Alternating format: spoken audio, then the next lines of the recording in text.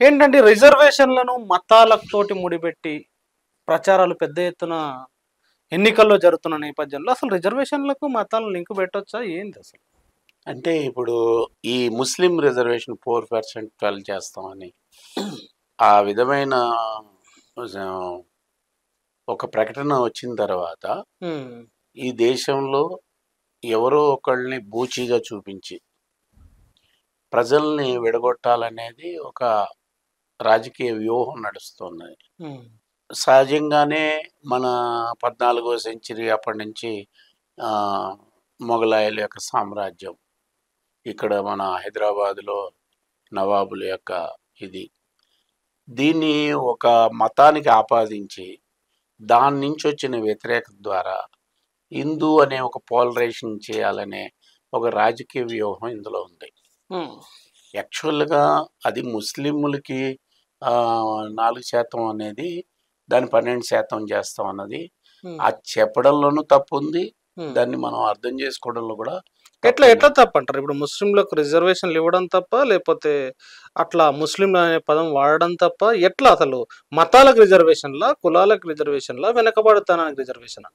ఆ, అంటే ఇప్పుడు ముస్లిం అంటే ముస్లిం మతస్థులుగా ఉన్న వాళ్ళల్లో పదమూడు రకాల కులాలు ఉన్నాయి పదమూడు రకాల. పదమూడు రకాలు ఉన్నాయి అందులో బాగా ఇప్పుడు పఠాన్లని కానీ షేక్లని కానీ ఇట్లా ఉన్న వాళ్ళు అందులో ఓసీల కింద భావిస్తారు. వాళ్ళకి రిజర్వేషన్ ఉండదు? వాళ్ళకి ఎందుకు వస్తుంది రిజర్వేషన్. అంటే ముస్లిం రిజర్వేషన్లో ముస్లిం అందరికి ముస్లిం ఉండదా? అందరికీ కాదు. అక్కడే మన అర్థం చేసుకోవాలి. పింజారి అనే ఒక ఇది ఉంది వాళ్ళు. అలాగే దూదేకులా అని ఉంది. ఉమ్, ఫకీర్లని ఆడుకునే వాళ్ళు ఉన్నారు. వీళ్ళు ఆల్మోస్ట్ హిందూ కల్చర్కి అంటే మన భారతదేశంలో హిందూ అని చెప్పబడే దానికి దగ్గరగానే ఉంటారు వీళ్ళు. దర్గాల్లోనూ అటు.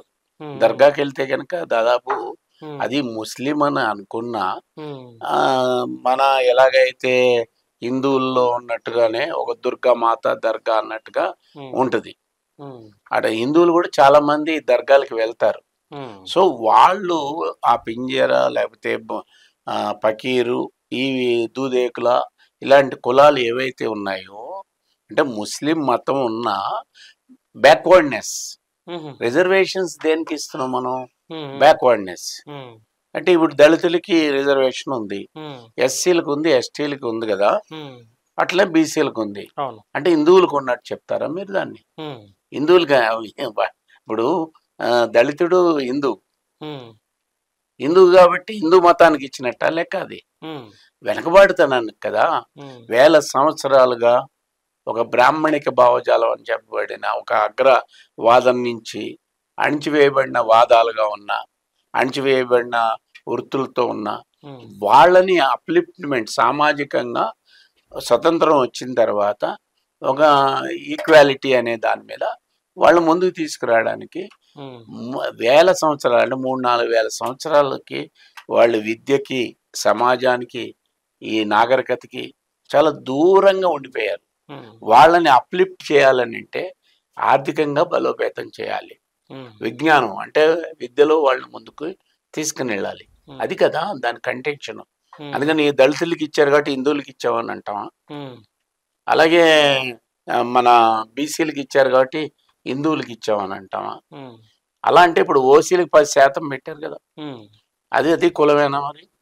అది ఎకనామికల్లీ వీకర్గా ఉన్న అగ్రవర్ణాలు అని చెప్పుకునే వాళ్ళల్లో ఎకనామికల్లీ వీకర్గా ఉన్న వాళ్ళనే ఆర్థికంగా రిజర్వేషన్స్ ఇస్తున్నారు.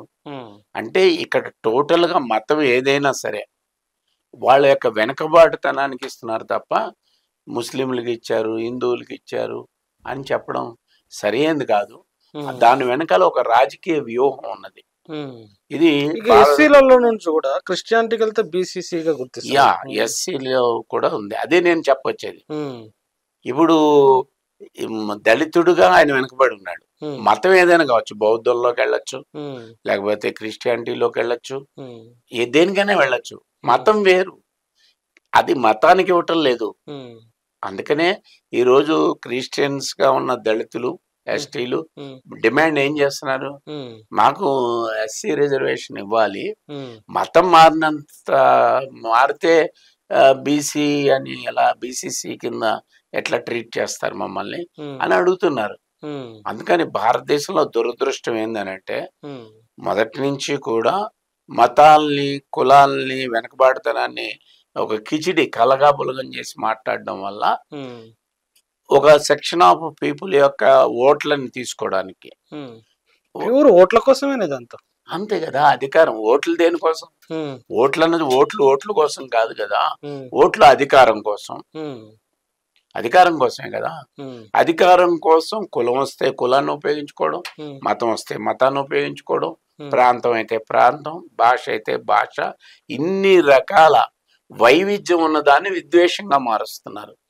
వైవిధ్యం వైవిధ్యాన్ని విద్వేషంగా మారుస్తున్నారు. ఈ విద్వేషం ద్వారా మెజారిటీగా ఉండే హిందువుల్ని పోలరైజ్ చేసుకుందాము అని చెప్పి చూస్తున్నారు. ఓల్డ్ సిటీలో జరిగింది అదే కదా? ఎంఐఎం అక్కడ కన్సాలిడేట్గా ముస్లింలు అనేవాళ్ళు ఎక్కువగా ఉన్నారు. అక్కడ ఉన్న ఓటింగ్లో భౌగోళికంగా. దాన్ని చేయాలి అని అంటే ఒక హిందుత్వాన్ని ముందుకి తీసుకొని రావడం. ప్రొజెక్ట్ చేయడం ఛాలెంజ్ చేయడం.